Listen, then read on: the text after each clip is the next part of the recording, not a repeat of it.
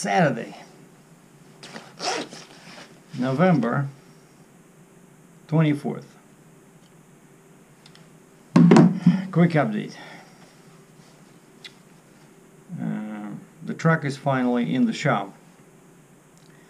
Gave the, the um, Terminator to the local Kenworth on Wednesday and then I emailed them uh, Friday just thinking that they almost done and they said oh it's still outside but we plan to put it in uh, Saturday. And now they open seven days a week. So I said so you're gonna finish like you said before before the end of the week like Sunday afternoon? They said yeah we think so. And but just to be sure I, I drove there in the morning today Saturday. And yeah sure enough the truck is still sitting outside. And I attached the uh, unit numbers to the neck because it was um, the temperature was uh, 32F 0C so it should be okay but the metal was so cold I had some trouble but I did install uh, the 602 on each side of the neck so that's my new uh, trailer number. And um,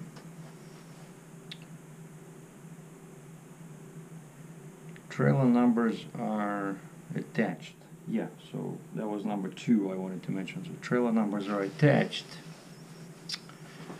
Let me see in the mirror. Somehow you know I don't like I look like a, a Russian guerrilla fighter during the World War II hold on one second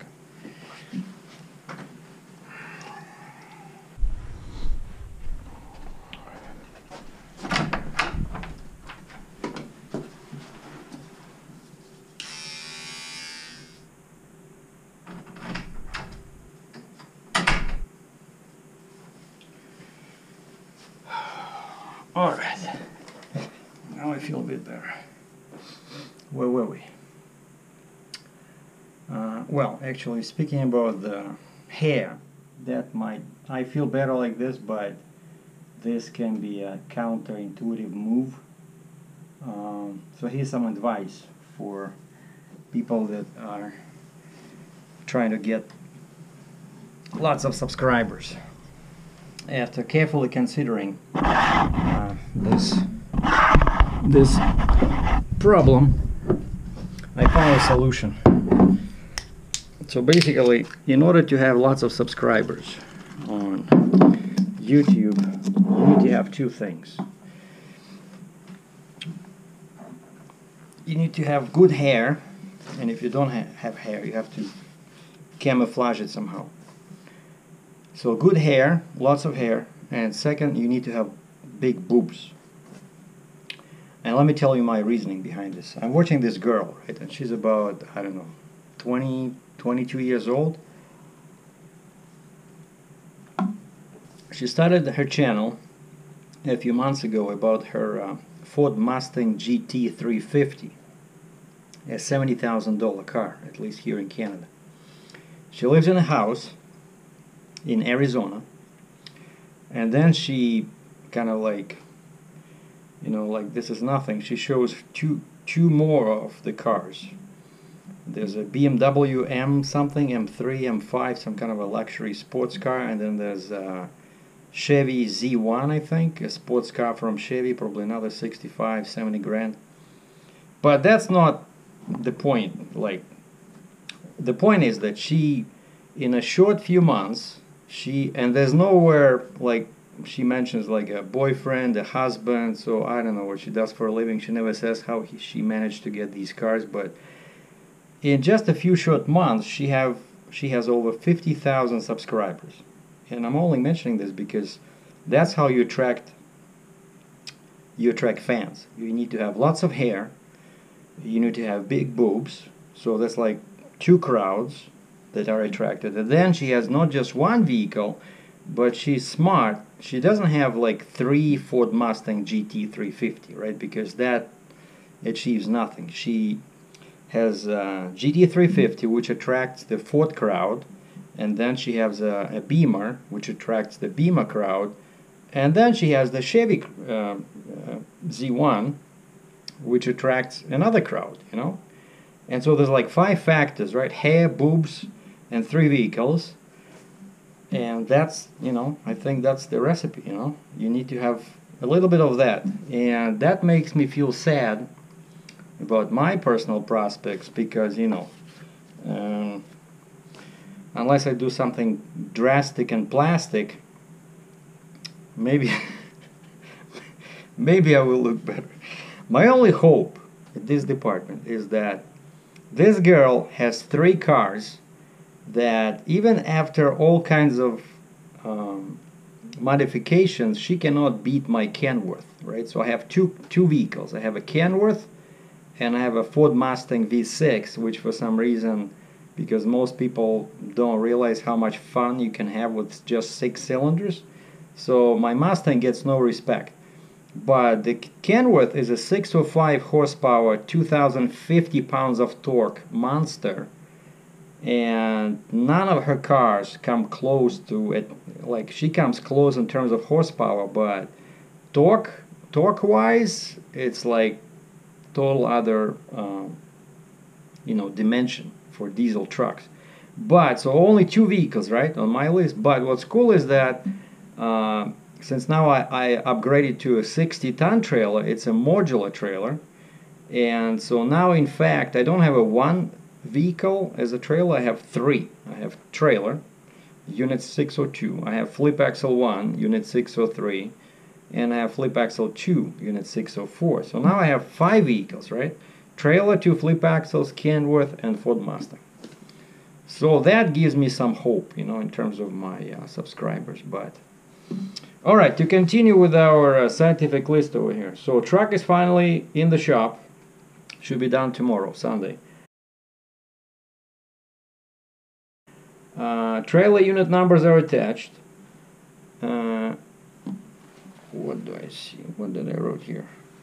Oh, case of clean flow. Yeah, and now that it's uh, cold weather is coming, and I already had to replace the fuel filters. If you saw that uh, video, my fuel filters were plugged because I got some high percentage biodiesel in the States, probably from Love's.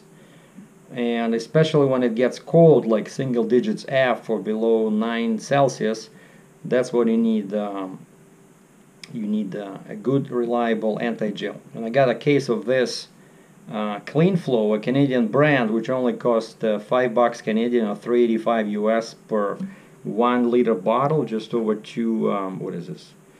Basically just over two pounds right? Uh, in weight. But it's enough I think one bottle it's enough for two tanks two big tanks It's made uh, over here in Canada, but I'm pretty sure you can buy it in the States. This is like the best bang for the buck I found so far. It works and it's cheap. And one more thing I wanted to mention is that mail finally is working here in Canada. And as a, when I got back from from US, I went to my mailbox and funny uh, that it only took two months for me to get my uh, IFTA statement. Like when I filed my IFTA fuel tax return, I think it was like first week of October because that was uh, second quarter. No, third quarter. Yeah, third quarter, which ended last day of September.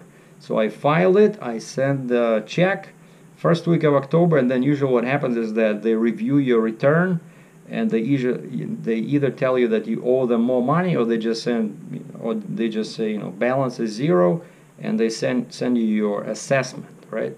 And only now I was able to pick up this assessment so you know November end of November.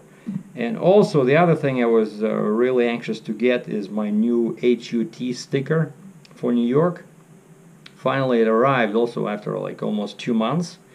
Uh, and that sticker you have to put it on um, every year because they change the color they change the code so if you don't have that sticker, you know, you might run into some issues in uh, in uh, in New York.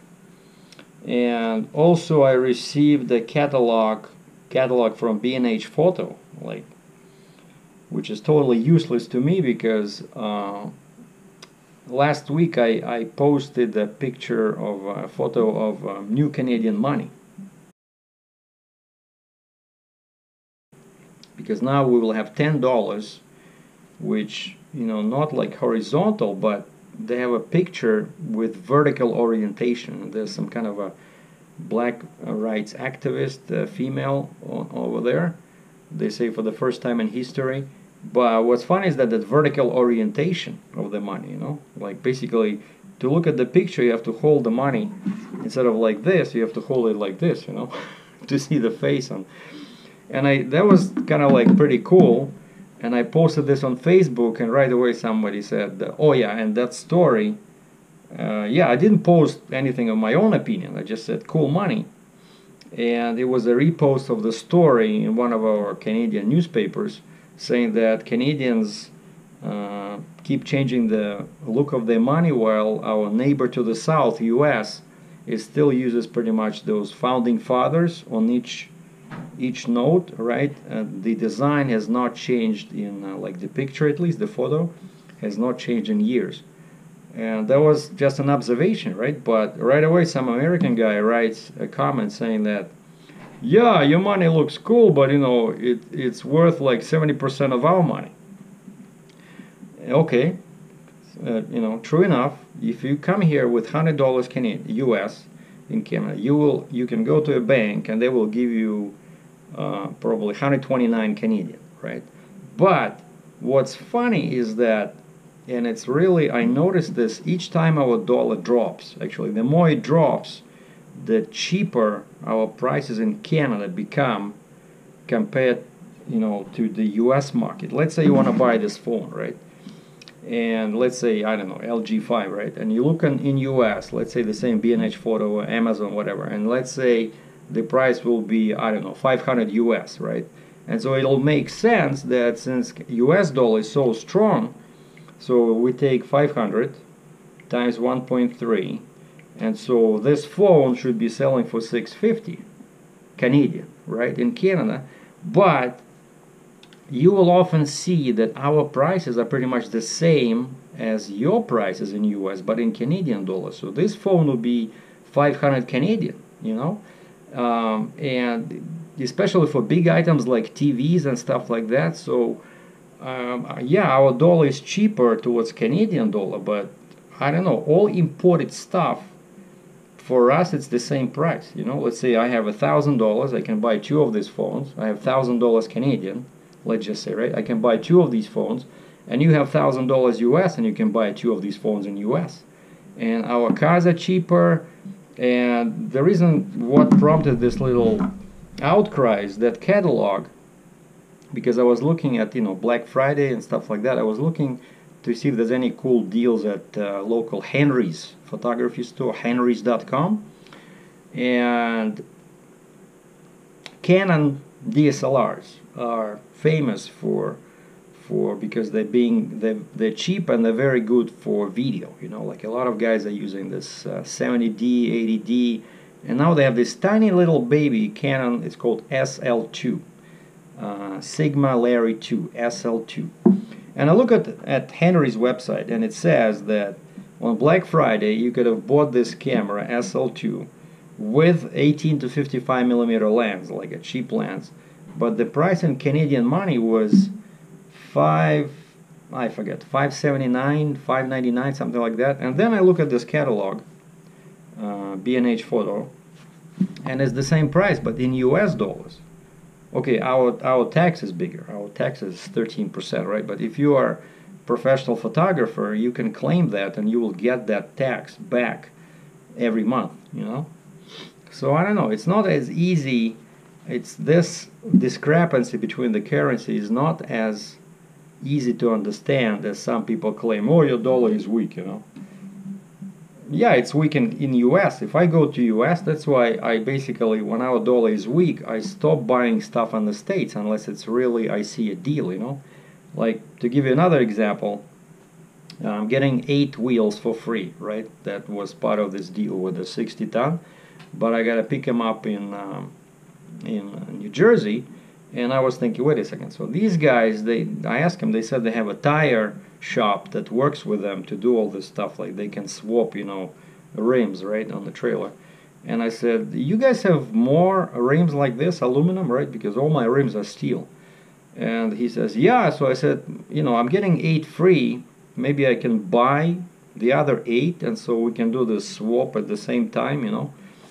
And the guy says, uh, yeah, sure, we can do that. We're using this tire replacement uh, outfit. They come to our yard and they do everything right there. And so he sends me a bill, and I see that the price for each wheel, I don't know what it was. It probably was uh, Alcoa, you know, they're expensive. But the price for each aluminum wheel was 330 US dollars, 330 bucks, one wheel. I called the local place here, Kal Tire, and actually this morning, as I was, um, I stopped to look at my truck at the Kenworth dealer. I picked up their catalog with parts, you know, like promotional stuff, and I see wheels again. Accuride, okay, they're not Alcoa, but who cares? You know, it's Accuride aluminum wheels. My size is 279 Canadian. Now, for those who uh, keep track of the exchange rate, 279 divided by 1.3 is only 214 US.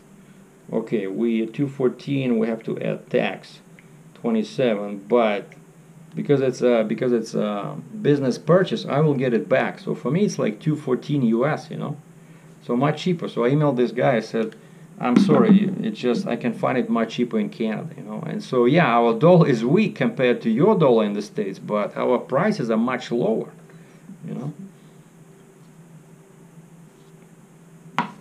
And just last example, our trucks. If you're looking for a good deal on a semi truck, you gotta buy it in Canada.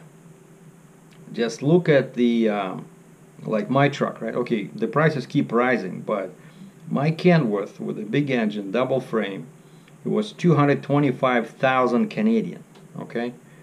That's about 175 US. You cannot find a truck like that for that price anywhere in the States unless it's used, okay? I don't know why. Our trucks are built in U.S., right? Then then they bring them across the border into Canada, and something happens to the price, you know, like a price because they cannot just keep it just exchange rate based, you know, because otherwise people here wouldn't be able to afford them, right? So they have to bring the price down. And so if I was American, I'm telling you, I would be buying everything in Canada like before I used to buy stuff in the States when the dollar was pretty much on par, you know, but now it's if you're American, I would buy it here. Anyway, what else do we have here on the on the menu? Uh, okay, yeah, and so two upgrades. I ordered two upgrades for my Mustang. I was thinking about getting um, maybe doing this in the future, like, but they're so expensive. They're superchargers, right? And they're not made here so I cannot get that cool price. Like I said in Canada we have cheaper prices. So I have to buy it from US so for me it's 30% more expensive in, in my money. Uh, so I was trying to thinking about the supercharger but right now I'm more occupied with the trailer. And so what I decided to do I just decided to add the uh, BBK throttle body. And it was it was uh, 35 bucks off because of Thanksgiving. Uh, and also I got uh, Roush cold air intake. Uh, so they're coming to uh, to New York. I'm just gonna drive over. If I don't find a load uh, next week where usually I cross either Buffalo or Port Huron I'll just drive my car and, and pick them up. I know the the throttle body is arriving uh, Tuesday. And so probably the uh, the Roush is not far behind because I ordered it like one day. Uh, you know difference. Roush was ordered later. And I'll do a video about this because the exhaust the exhaust note of the car will definitely change. There'll be a bit more power. Uh, so that's what's coming. For the Mustang and the last thing is uh, I wanted to mention is that uh, uh, yeah I'm picking up the truck Sunday and we'll install the um, unit numbers on the on the flip axles. I have it with me here but it's still cold you know? So like I said I did the unit numbers on the trailer but I didn't want to do on the flip. So that's two two other unit numbers. And then I'm gonna bring it back here to Cambridge, and then Monday, first thing in the morning, I'm going to a hydraulic shop because they couldn't do it before without my truck, and now I said, yeah, I'll be there. I can move it for you and uh, you know move it inside the shop. I said I'll just wait there a couple of hours, and they're gonna do a full inspection of the of the hydraulics. And also Monday, I already talked to them. I'm going to Kal Tire uh, because I want to buy these uh, eight rims from them. But they want to look at the at the bolts on the wheels because uh, sometimes when you get when you buy a trailer with all steel rims, they put in short bolts and aluminum rims are wider. So especially if you trying to replace, let's say, your two steel rims with two aluminum rims, you need a longer bolts on, on the wheels, okay? And so I don't know if they can do it. Um, I think I had to do it on my uh, International before because there's a limit, like DOT tells you how much of the bolt should be sticking out. You cannot just have like this much outside, you know, it has to be, I think it's an inch or two inches or something like that and so they want to look. They said, bring the trailer before you buy, before you order. They have to order them from the warehouse. And they said, then we'll uh, tell you if this is to work or not. So if the I, I and I forgot to look this morning. So if the bolts are too short, then yeah, I definitely want to replace them. I want to get these uh, aluminum rims. So that's what's happening. So um, we'll post another video uh, Monday or some, maybe Monday, yeah, after they're done with the trailer. Maybe I'll show you guys if I install the aluminum rims. I'll show you that. Maybe we'll go over what they did at the hydraulics shop. And also, uh, one more thing I forgot to say is that I told uh, Kenworth to um, rip out uh, mud flap hangers, those factory ones with those ugly white mud flaps. And I said, remove them and just add a piece of uh, mud flap at the bottom of my plastic fender. And the guy actually called me. He says, "Hey Sergey, this is uh, Ryan working on your truck. We have two types of mud flaps. One is thirty dollars, one is sixty dollars. Which one would you like?" And he just needs one. I said, "Hey, let's go crazy. Get the sixty dollar one." and he says, "Okay." Thanks for watching. Captain Sergey out.